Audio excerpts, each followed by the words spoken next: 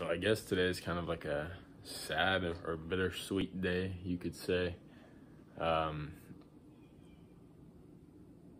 we're starting the unmodding of the red car, and I know this probably isn't too big of a shock for most of you guys that are actually like, you know, consistently watch the channel because you probably watched the last video and me talking about it. It's it's such a hard decision, you know what I mean? Like it's I don't want to like actually do it. Well, okay, I shouldn't say that. I want to do it. I don't want to actually do it. You know what I mean? I'm not gonna go over all this again. Um, I said it all in the last video, but I just don't want somebody to drive this car and like ruin it because it's bound to happen with stance cars. Like you can go watch anybody or go listen to anybody's story about when they sold their stance car. It always gets destroyed. It always ends up messed up in the end, and I just can't have that or can't I just can't see that happen to this car in this state because of the amount of work that I put in. So I'd much rather just unmod it and put it back to a stock form, I guess, stock form. Um, I'm gonna go over everything that I'm probably gonna end up doing, switching out on the black car. Try to raise the black car's value just a little bit um, to not have to sell all those parts individually, which I'm sure it'll definitely help um, for a few things and a few OEM parts that I'm putting back on the red car um, for value reasons or reasons to widen the uh, market for this car. And if you guys have realistically been watching for like the length of this channel, you'll know that this car really hasn't been slammed, slammed for that long. Like it really is very nice underneath still. Of course, it's like scraped up a little bit um, from more of the recent times, but it's still very nice underneath. The frame rails are still straight. They're not banged up super bad. They're a little scraped. Uh, the exhaust isn't worn through or nothing crazy like that. The bolts are all good. So like I'm at the point of like this car is good to still be sold and I can make money and get some new. Okay, so I'm done talking about this stuff. I'm sorry. I literally just said I wasn't gonna sit here and talk about it for a minute. I did. Um, but some things we're gonna do. Um, of course, I'm probably gonna be selling the hardtop separately to one of my buddies that wants it. Um, and I'd rather just keep giving. I'd rather sell some parts to like some of the homies for like a decent deal if I can, just because like I would like to see parts of my car live on in like my other homies' cars. I guess. um, but uh, the hardtop's going to be sold separately. Um, it's going to go back on stock wheels, of course. I got the original set for the red car. Red car is probably going to go on the black car stocks, and the black car is probably going to go on the red car stocks, just because I think they look better. Um, Steering wheel is going to get switched out. Head unit's probably going to get taken out. Stock shift knob's definitely going to go back in. Um, lower arms, of course, are going to get switched out. Upper arms, uh, I'm not sure if I want to do upper arms yet. In the rear, I think I might just because it's simple enough to do them and uh, gives you like negative like two degrees of camber once you lower it. So I think I'm just going to put the stock arms back in it since I have them sitting over there. Um, the front, I'm not too sure yet. We'll figure that out when I get there. But I got to get lower arms for this car um, as well. Front lower arms. I guess I should update you guys. It's been a minute. Um, as you see, there's like no camber at all in the rear of the red car anymore. And it's back on a 16. Um, currently, the car is in the air. Both cars are in the air. Um, I swapped the BC off the spring. You see that right there. Um, and put it on this car. So it's on the stock AKs, which this car is gonna feel incredible with these BCs on. I already know. Got the rest of the three right here. Uh, I've showed you guys like most of me doing all this shit before. That's why I'm not showing you too much. Turn off this fan real quick. Um, we're gonna go ahead and take this spring and coil off the uh, car, or off that coil, put the other one back on, and then throw it onto this car. I gotta get this coilover out Um, the wheel's just broken loose. Nothing else is out yet. Shouldn't be too hard. I'm gonna call it after that for the night because because it has already taken me so long to do all this and uh, I'm tired and it's was like 80 something degrees out today so it was pretty warm. Been sweating all day so kind of exhausted. So we're just gonna get these rears done. Shouldn't take too much longer. Yeah. Oh, I got the, uh, let me show you. I also went ahead and took the upper control arms out. You can see the other one is sitting right there on the ground. Uh, the rear upper control arms, I should say.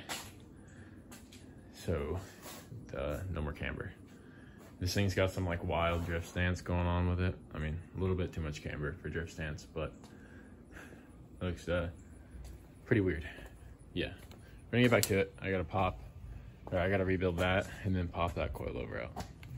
As you can see, that Ford was ticking like a motherfucker. As you can see, uh, I got the spring back on here, sorry. And uh, we're gonna go ahead and take this coilover out and throw it in. All right, and as you can see, the black car is now back on the ground on both sides. Is now on BC coilovers in the rear. This John, I gotta put the interior back together and finish tightening everything down. But this John is now on Teins and stock upper arms. Still like very bittersweet as we're going, but I also realized like as we're going, not that sad about it. I'm just kind of like, I am think I'm gonna miss it over time a lot more than what I feel bad for doing right now. I'm honestly really excited to see how the black car drives on BCs. Uh, and I am basically finished up here for the night. I'm gonna keep going probably tomorrow morning when I get home from work um, or not tomorrow morning, sorry, tomorrow evening when I get home from work and do the fronts and get hopefully the fronts on the black car uh, done and put back together so I can drive it. I can drive right now. So like I said, that's why I'm only doing the rears right now just in case. Um, so yeah, we're gonna keep getting this all tight and put back together, put the wheel back on and back on the ground. All right, so we are back for day number two of working on the red car and the black car daily. Um, and getting them, uh, the suspension switched around and the red car basically back to stock uh, form. And so far it's going all right. It took me a while to work on both the cars yesterday because of course I basically did four corners if you count both rears in both cars. So it took a minute and plus I had to do a whole bunch of other stuff. But um, today we're working on the fronts and this is going to take even longer unfortunately. And we already got a late start today. On top of, I need to find lower control arms. Because as you guys know, I idiotically cut and welded, had Jeremy cut and weld my fucking lower control arms just to turn this bitch back to stock um, a month later. So I have to find lower control arms, unfortunately. So I have to find lower control arms, unfortunately, which sucks. But that is okay. Um, I'm either gonna have to just end up ordering them. I think they're only like hundred dollars either end up ordering them or buying them uh, on Facebook Marketplace if I can even find them. I can't find anything I need on Facebook right now. It's like people are just hoarding parts for literally zero reason. And it's dumb. But besides that, um, we're just going to start hammering this out. I got both cars in the air already, as you guys can see. Well, not completely in the air, but ready to be worked on in the jacks. Um, just switching the BCs around. Okay, so that coilover is basically ready to come out. We got the bolts out. I just have to press it down and get it out. The This coilover is out and I flipped the ball joint. So that's ready for the Tein and I gotta rebuild this one, put back in here and that'll be ready to go in. So it's coming along. We just gotta keep going. Okay, so I wasn't joking by saying we're going all out and like turning this thing back to stock. We're stealing the eyes off of the daily. These are actually the uh, headlights that came off of this car originally. So we are uh, taking them back off of that car and putting them back on here and putting the halos on this car again like it used to have. Um, so yeah, we're just gonna go ahead and switch everything over. And this isn't really that hard. The halos are pretty simple. It's two bolts and some lights. And they'll have to rewire the things, take all the wiring out of this car. And we should be good to go. Shouldn't be too hard at all. Okay, so this is almost done. Um, all that's together. I gotta wire this together and that'll be done. Uh, and then put that headlight in. But I just wanted to give you an update. It's kind of the biggest change, honestly, uh, to this car. Like, let alone the height. When I put these headlights on, it like completely changed the look of the car for me and like a whole bunch of people. Um, like for Jeremy and all that, they all loved the headlights and thought it looked a lot better than stock. And I agree with them, especially with the theme in the car of the black and red. It looks so good. And uh, it's sad to see it go, honestly. Um, this whole car is changing back to literally how I bought it, basically. Uh, to go to the next owner that hopefully takes good care of it and does something fun with it like I did. Hopefully he keeps it for the rest of his lifetime. But yeah, let's keep going. I gotta take the stickers off. I'm gonna do that soon. Probably next, honestly. I have to be careful for the tint. I just remembered. Okay, so we got the Teins on this, the BCs on this. You can see up here, BC. Um, the height difference isn't too drastic of a change, so you won't really be able to notice. Plus, it's already in the air, so it doesn't matter. But this, of course, is drastically different. Um, it's back on 16s. It's still on extended arms. I took all the camber out of the upper arm. Um, this is crazy, though. With the... Uh, somehow, it has zero, almost zero camber. With It has a tiny bit, maybe like one degree of camber. Um, with my lowers like for like negative eight ish. It's kind of crazy that this almost has zero degrees. But um, of course it needs to get raised, but I'm not sure how much it's gonna go up once I get the other side done. So it'll go up a good amount, uh, like that did. So I'm gonna wait on that. Um, I'm still gonna get lowers, I think, for legality reasons, just in case the welds ever end up breaking on this. I don't want to get in trouble.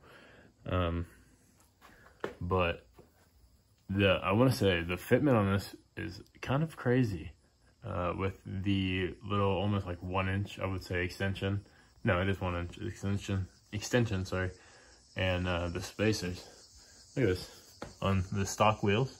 The wheels turned a little bit. Can't really see it but it's turned a little bit so it's a little. But the fitment is crazy on this it looks so good. Of course I'd end up fucking these um, fenders up with these squishy ass coilovers but it looks good. Um, like I said, it's going to get raised, of course, and different arms, so the fitment will be a little worse. And I'll have to adjust that arm up top to give me zero, to zero out the camber a little more. But yeah, uh, we're going to keep going. Uh, I just have the one side to do and then adjust everything. Adjust everything once I uh, get it all in. And then, of course, I have to mess with the lower control arms once I figure that out. Um, but yeah, we're gonna knock this out. Hopefully I can get this out in a decent amount of time. Let's go. All right, so the black car is on the BCs. So you can see there's way more camber and it's like tucked way harder, so I'm gonna have to raise it a little bit so it stops doing that. Um, same with on this side, I have to raise it a little bit. It's like a little tucked, and it's not great. The back is also a little tucked. I don't know what that is. Probably gonna raise this side a tiny bit. And yeah, this side has, this car has all Teins on it. Um, just gotta finish putting the headlight in, take the stickers off, place the exhaust, take all the stuff out of the interior, and then it's ready to sell. This car still needs a little bit, um, but we're getting close to finishing up this car at least. Uh, oh yeah, we need lower arms, son of a bitch. We'll figure that out. Yeah, I'll show you that the other side fitment is very similar to that side. Honestly, this side still has like a little bit more camber than the other side does. So, uh, yeah, that'll get fixed, of course. Uh, but other than that, hope you guys enjoyed the video. The next video will be probably more disassembling and finishing up and getting the black car looking a little better, um, ready to sell. You'll see me take apart the red car a little more and whatnot. Um, still got a little, a decent amount of stuff to do, but I'm trying to get it done as fast as possible. I need to get it done this week. Um, it just sucks trying to find everything um, and do it all at the same time. Yeah. Okay. So yeah, hope you guys enjoyed. Um, if you guys are excited for the new possibilities and what's possible to come on the channel, because I have some ideas. Um, so yeah, have a good one. Peace out.